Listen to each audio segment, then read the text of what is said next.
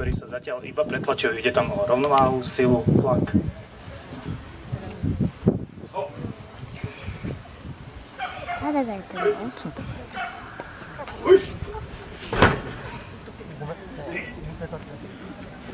Súčasťou každej techniky je zhodenie na zem.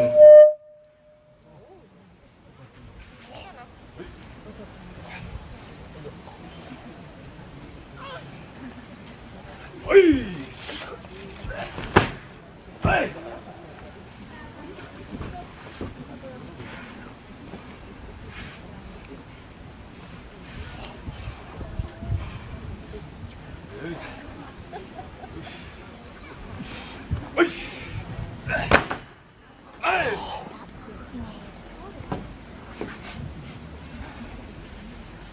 強い。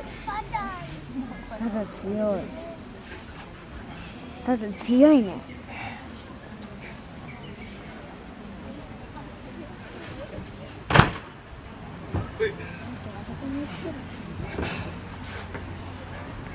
Súčasťou niektorých zhodení sú aj páky na rameno, lakeť, preto je bezpečnejšie ich robiť možno trošku pomalšie.